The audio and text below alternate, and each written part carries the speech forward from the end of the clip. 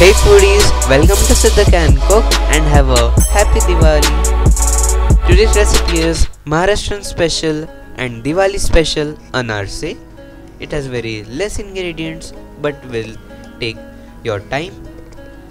I have took nearly 1 week for this video. Now take 3 cups of tukda rice in a bowl.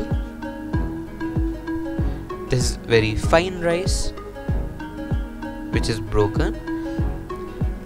Add 4 cups of water, nearly 1 liter. Now keep this rice in the water for 3 days to get the specific aroma of anarse.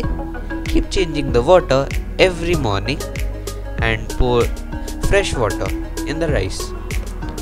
On the fourth day, do a setup that means take a newspaper then a bed sheet, then a handkerchief or a muslin cloth or anything which can soak the water.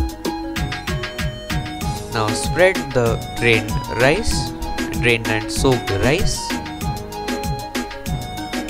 Scrape out all the rice from the bowl. Now spread it so that the rice dries out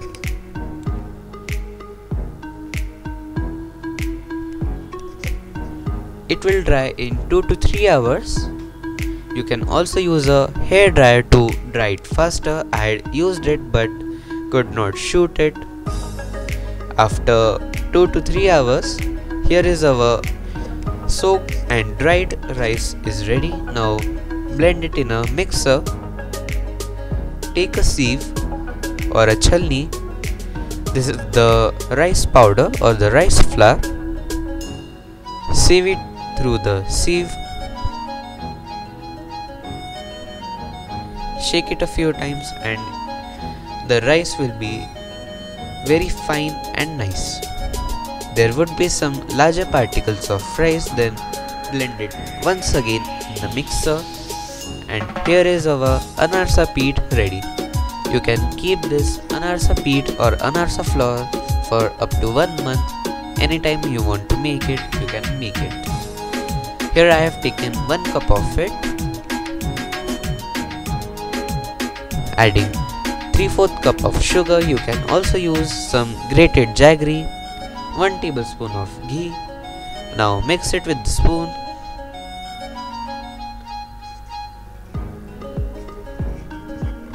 Now make the dough out of it.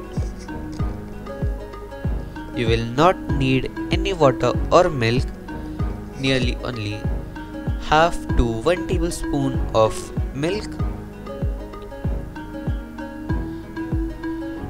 Here we are using little bit of milk because the sugar will leave the water and the rice will soak it. Now let this dough ferment for more 3 to 4 days so that it is nice and fermented let the dough ferment for a minimum of 3 to 4 days. Traditionally it is kept for 10 to 15 days. After 5 days, here is our fermented dough ready. Now take small portion and make a rolled ball and flatten it out. In a plate, take some poppy seed or khaskhas place your rolled dough on it so that the poppy seed or khaskhas sticks on it. Now take some hot oil and keep the flame as low as possible. And after 5 to 7 minutes, our anarse would be ready. Please do not flip it. We need little bit of white color on the top.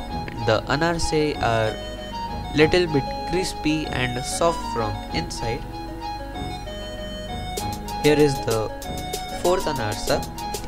While frying the anarsa, throw some hot oil over it with the kadchi so that it puffs up.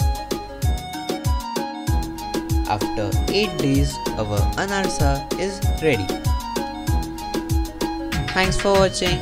Please give it a like Share the video and subscribe to my channel and click the bell icon beside it to get notified as soon as I post my new video.